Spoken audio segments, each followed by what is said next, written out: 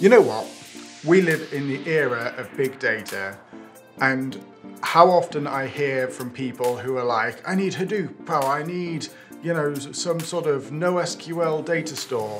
In actual fact, what you need is a traditional relational database and understanding about how to use it. So join me for my top 10 MySQL tips.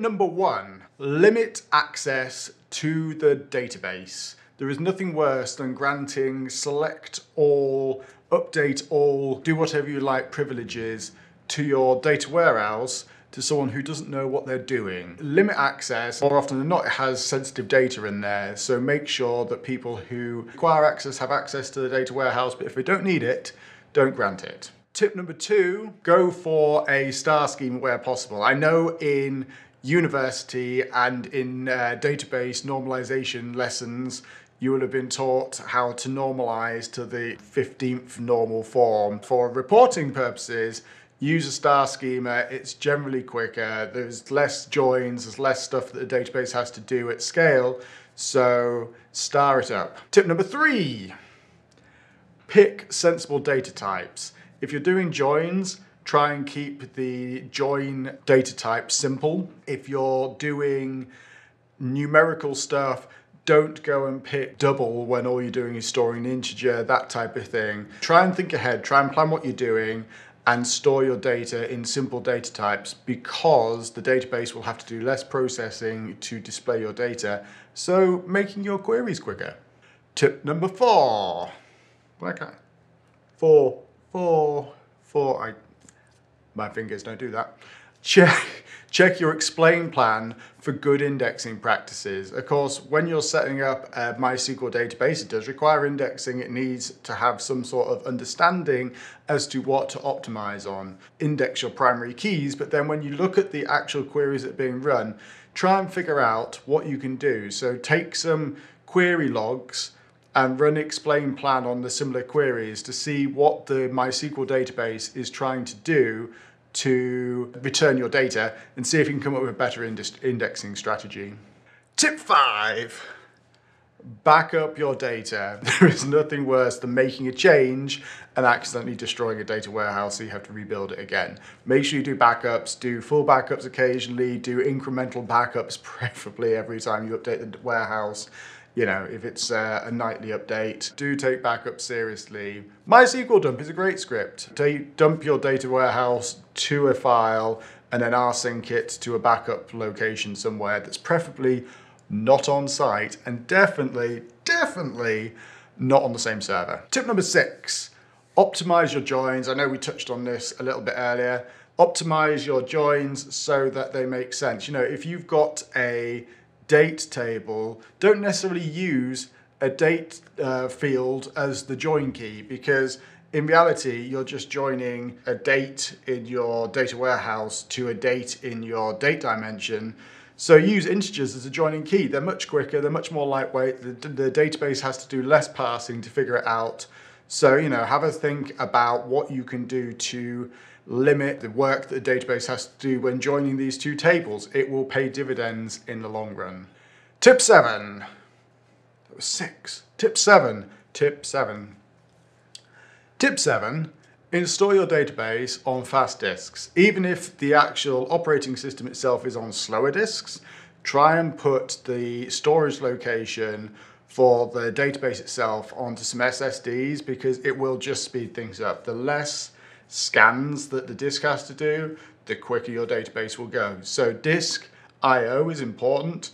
Try and optimize that as much as possible because the, the database can get the information back off a disk, the quicker the queries will get to a user, the quicker the users will get their information, the happier everyone will be.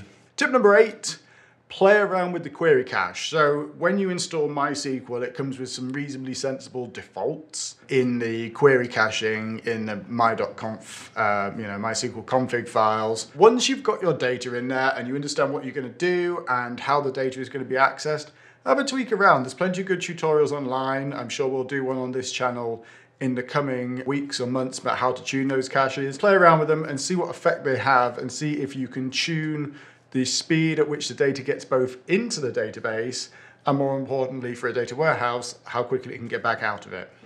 Tip number nine, try and update your data warehouse out of peak hours. Uh, this might seem sensible, but it isn't to everybody.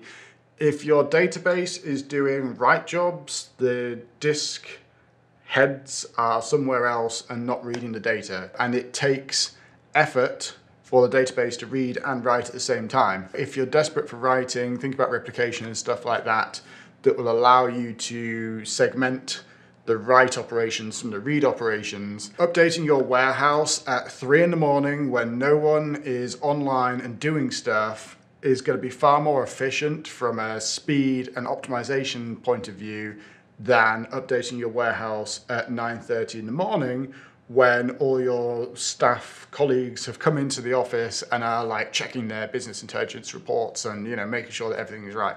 So try and figure out a good time to do updates when no one's using it, or at least when less people are using it.